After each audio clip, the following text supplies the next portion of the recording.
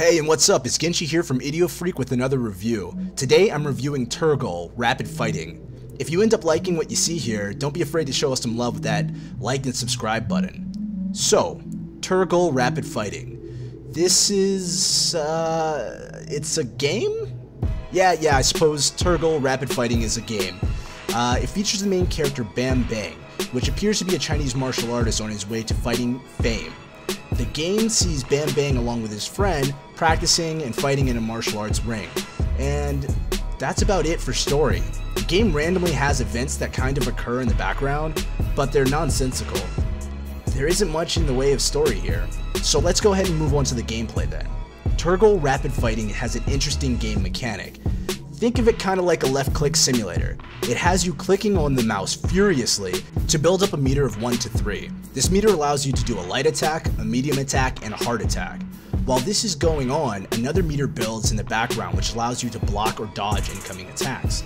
The fighters furiously attack each other until one of the special moves are selected, and then they actually do damage. Uh, yeah, in between these matches, Bam Bang can practice with his friend, or buy satay to top off his health, and then it's back to the ring. Alright, the game doesn't have much game in it.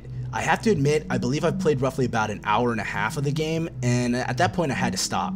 I got it, I understood it, I feel like I played all the game has to offer, not to mention I was afraid I'd break my mouse.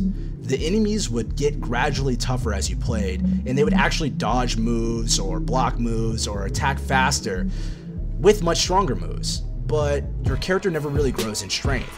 It'd be one thing if after every fight you actually got points to put into skills, but instead you just get more money to pay for satay and your registration fees for the fighting tournaments you're playing in. The game does have some fun though, just a tad bit of levity is brought to it. I fought characters like the Kamen Rider, Batman, and Ryu just to name a few.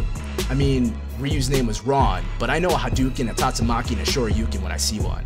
Hell, he even goes evil Ryu on you, forcing me to go into some kind of Tengu Goblin mode? I don't know what that is, and to be honest, the game never explains it.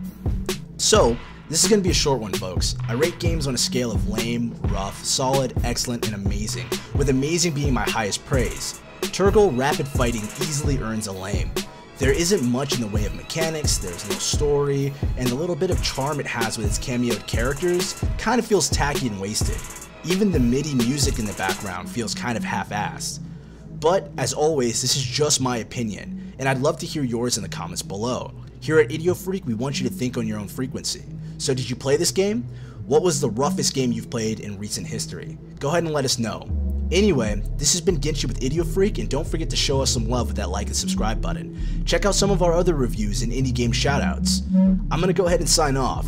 Freak Nation out.